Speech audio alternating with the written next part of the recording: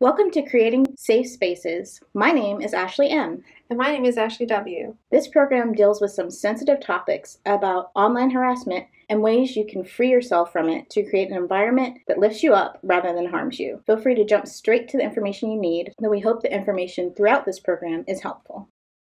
There will not be any cursing or images that are unsafe, but as we mentioned in the previous slide, this program will cover difficult topics like abusive language and bullying. Please be mindful of your well being before viewing this content.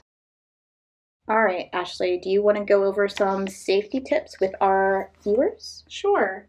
I think most of us know the basic warning signs and how to protect yourself online, but they do warrant mentioning because they're your first line of defense. Online friends are real friends, but just like real friends, they may not always be your friend. So be careful of the information you share about your real life, such as where you live and when you're leaving for vacation, or posting images that can tag your location. Update your privacy settings on social media regularly so you know what you're sharing and with whom. Also, remember that others can take snapshots of your Snapchats or other social media posts. All right, so troll or threat. How can you tell if someone is just being a quote unquote troll online or if they are a real threat? Generally, trolls will leave outrageous comments and then hopefully move on. Not responding can sometimes be enough to dissuade them. However, if you get caught up in a back and forth conversation with excessive swearing and insults, then it's possible this user might be a problem later on but even situations that begin as online friendships might have unforeseen difficulties later on. We're going to go over things to look out for when you start engaging with people online. As we mentioned, if someone is hurling abuse at you, that is pretty obvious. However, there are other things to be aware of. Aside from the language on the public side, if someone starts messaging you privately or in your DMs with inappropriate content, that is definitely a red flag.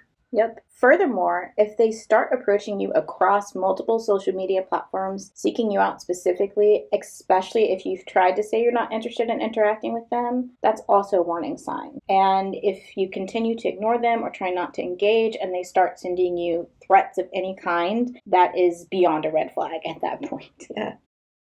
While these basic warning signs are key examples of bad online behavior, sometimes it can take different forms depending on what type of harassment you're experiencing. So, there are several types that we're going to go over today. This isn't an all encompassing list, but it's definitely some of the ones that people encounter frequently, and we'll be giving you a few real life examples.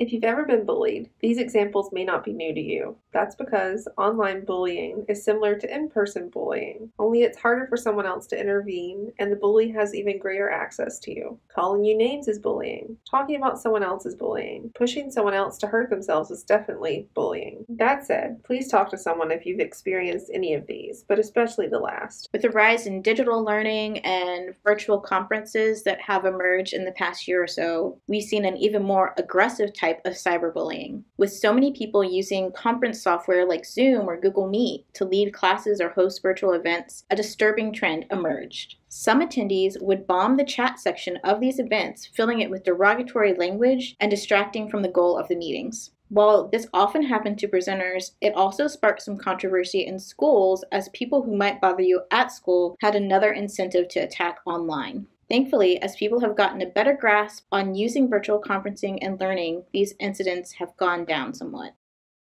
The more targeted body shaming would be, for example, if someone is spamming your Instagram posts making cruel or derogatory comments about your body or appearance.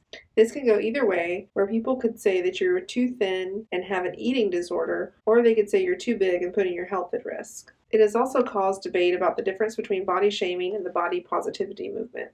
A key example of someone in the media who has come under scrutiny for this is Lizzo. After becoming a hit sensation for her talent, people still couldn't pass up the opportunity to comment about her size, especially due to the types of photos she posts on Instagram that people found provocative or not attractive. What was Lizzo's response, Ashley?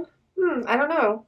She brushed the dirt off her shoulder. While I'm sure the negativity can take an emotional toll, she and her true friends continue to advocate for herself as someone who is beautiful and confident in her own skin. The lesson from this is to use the support you have around you to build your confidence. People will make comments about everything because there isn't anything to stop them. You, however, have to build up your own resilience to see yourself through those reactions. Don't silence yourself. You have the right to be as vibrant, outgoing, flashy, or fashionable as you feel. You also have the right to be whatever size you are and feel proud about it.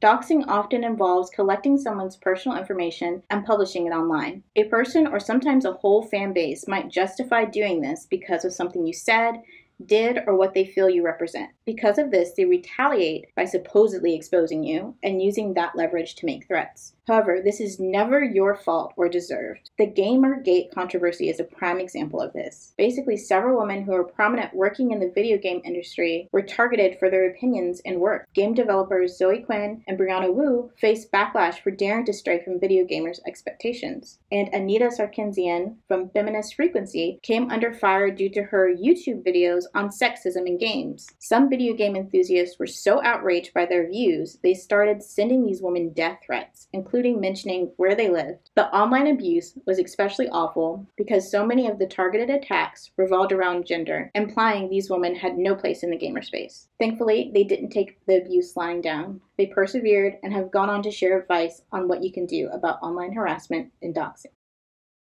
If you search for the official definition of outing in regards to online harassment, it has a similar description to dox. It can be where someone posts private information about someone or tries to blackmail them with that information. However, I want to talk about outing someone in a different sense. Outing can also refer to revealing information about someone's sexuality or gender identity, especially before they are ready to share that information with others. Sometimes this happens unintentionally with friends who let something slip to someone else and might feel awful about it. However, if someone is calling you out about your identity on a public platform, it's definitely harassment. And the boom of online celebrity blogs, this happened often, where bloggers would post about whether or not someone was gay or that they should come out of the closet. These articles spurred users to offer up their own harsh opinions and speculation. And even now, when doing something like this is considered taboo, some people still have the tendency, or audacity rather, to talk about this part of someone's personal journey. It can come across in hurtful, prejudiced comments or mocking someone's pronouns. But no matter what, no one has the right to ridicule you for being you.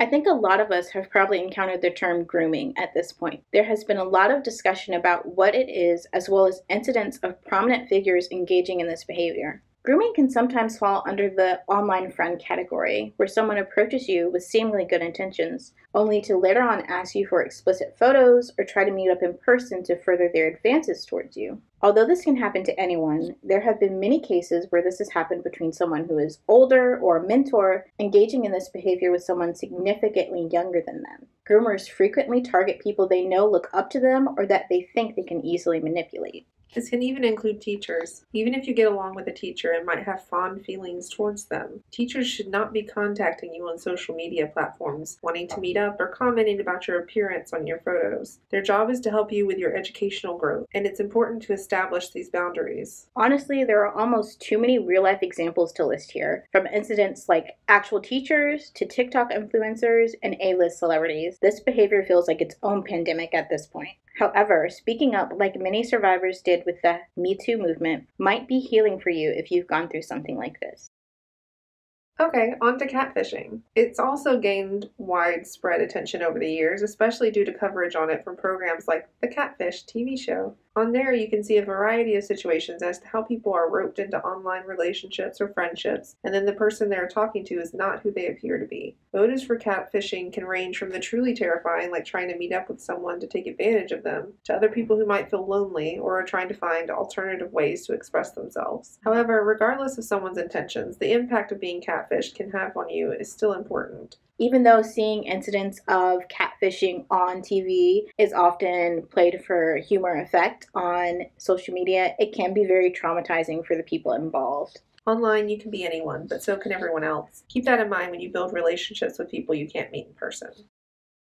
While these attacks can feel scary and overwhelming, there are things you can do to protect yourself. Your first course of action can be to not respond. Sometimes a response is all they need to feel provoked or entitled to keep confronting or approaching you. However, if staying silent doesn't work and the person keeps sending inappropriate messages, you can screenshot it on your computer or take a picture of it on your phone. Documenting these encounters is an important step to do before you block or mute someone, because oftentimes the messages might disappear after you block or mute someone. However, if this person is scaring you, definitely block or mute them as well as reporting it. Be sure to unfriend them as well.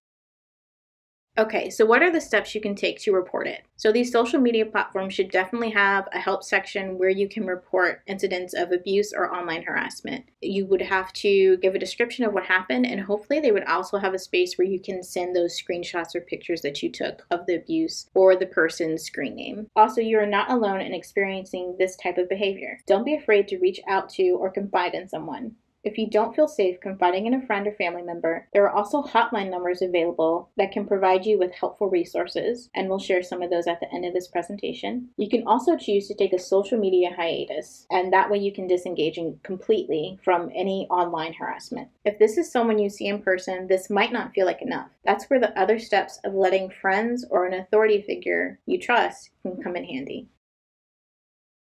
No one can tell you to brush off how bullying or harassment makes you feel, but know that the bullying or harassment isn't about you. You get to make the decisions about yourself without taking a poll to see how others feel about it. Find a support network who will be there for you and be there for yourself as well. These resources listed here can help. We have the self harm prevention hotline, which is also available via their chat lifeline. There is also another additional hotlines for the deaf or hard of hearing. The Trevor helpline is for those in the LGBTQ community who might be experiencing outing. There are also several websites like stopbullying.gov, stompoutbullying.org, and ihollaback.org. If you're looking for some fun, drama free outlets online, these are some of the apps that might be fun to play, whether they are a game or have comic books like High School Story or the Novelly apps, or about meditation, or even writing outlets like Wattpad. There's also a book by Eric Smith called Don't Read the Comments, which details the online harassment a gamer girl faces. So you should definitely check that out as well. And we just want to thank you for watching. This presentation was provided by Gwinnett County Public Library and check out the other stuff that's available on the YouTube channel. Have a great day and be safe out there.